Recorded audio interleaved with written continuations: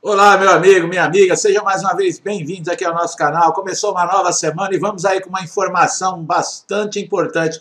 Tem muita gente que tem dúvidas e pensa que o auxílio-doença é sempre a mesma coisa. Não sabe que existem dois tipos de auxílio-doença. Nós vamos falar aqui do auxílio-doença identificado com o código 91 e o 31. O 91 é quando o auxílio-doença for motivado por acidente de trabalho, doença ocupacional ou agravamento de alguma doença por culpa do trabalho. Deve ser concedidos quando é esse tipo de, de acontecimento com o segurado, o espécie 91, que é o auxílio-doença por acidente de trabalho. O que tem de diferente do 31? Esse auxílio-doença 91, ele garante todos os direitos do segurado, como se ele estivesse trabalhando, dentre eles a, a, estabilidade no emprego, depósito de fundo de garantia, custeio de tratamento médico e hospitalar.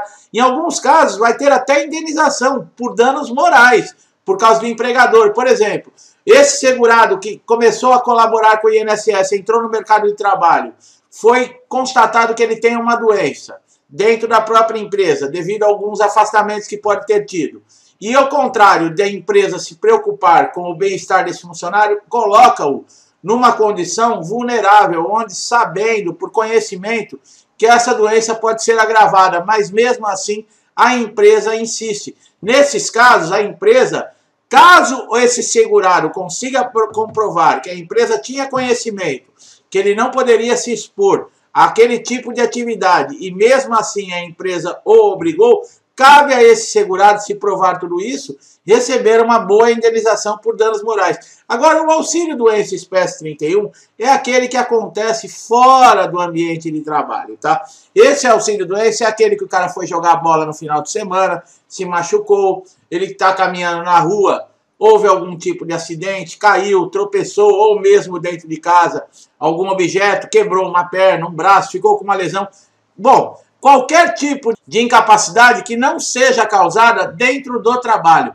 Vocês sabiam que o percurso para ir até o trabalho é considerado doença do trabalho. Se por acaso você está pegando um ônibus para ir até o seu trabalho e sofrer um acidente, uma queda dentro desse ônibus, é considerado 91 nesses casos, tá pessoal? Tá bom? Então é uma informação muito importante. E o que, que acontece? Muitos desses casos tanto do auxílio doença da espécie 91 e 31, são sendo encaminhados para reabilitação profissional.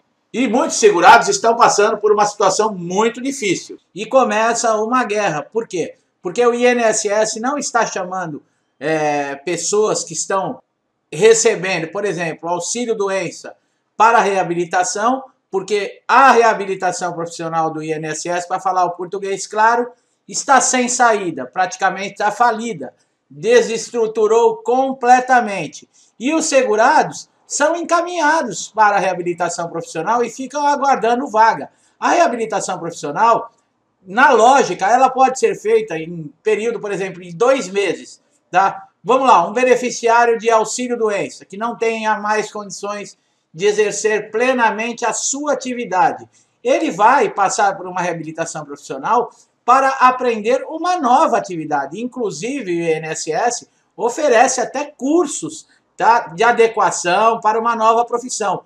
O que acontece em muitos casos é que o segurado de auxílio-doença, ele passa pela reabilitação num período muito curto, de dois meses, é mandado de volta para a empresa como se ele já estivesse reabilitado.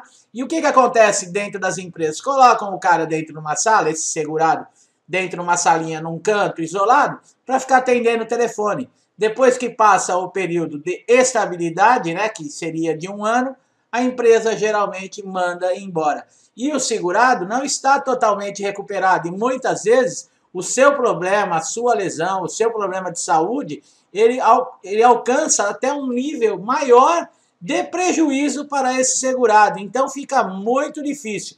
E agora com essa notícia que eu acabei de falar, que em março né, o INSS pode voltar a suspender benefícios que estão aguardando reabilitação, fica mais difícil ainda, tá? Agora também lembrando, né, existem casos, por exemplo, de segurados que estão na reabilitação profissional que chegaram a passar dois anos na reabilitação e não houve condições. E foi constatado que esse segurado ele não tinha mais condições de exercer nem a sua função, nem uma outra função qualquer que seja, então lhe é devido a aposentadoria por invalidez, tá? Agora veja bem, o INSS, a partir do momento que esse, esse segurado ele entra para a reabilitação, o INSS não pode mais suspender, nem inclusive chamar esse segurado para participar de frente fino, nada. E esse segurado ele só pode sair da reabilitação quando ele estiver totalmente é, recuperado para exercer uma nova atividade.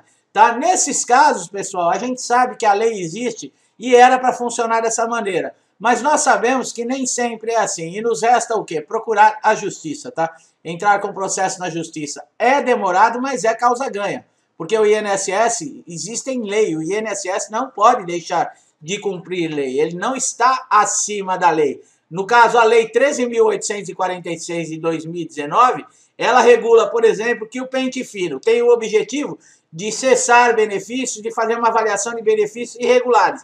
Mas isso não dá o direito ao INSS de chamar um segurado que já está recebendo benefício, aguardando um programa de reabilitação e dentro desse pente fino esse benefício ser cessado.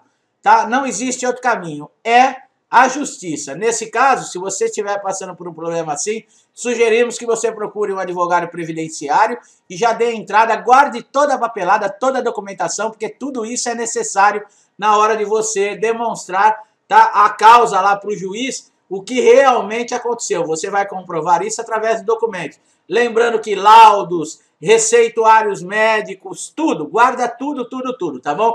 Para você que é a primeira vez que está aqui no nosso canal, é um prazer recebê-lo. Se inscreva no canal aqui se gostou do nosso vídeo, ative o sininho de notificação para sempre estar recebendo novos conteúdos. Meu amigo, minha amiga que estão sempre aqui comigo, eu deixo um forte abraço de coração. Estamos no final de semana, que Deus nos abençoe a todos e nos traga paz. Forte abraço!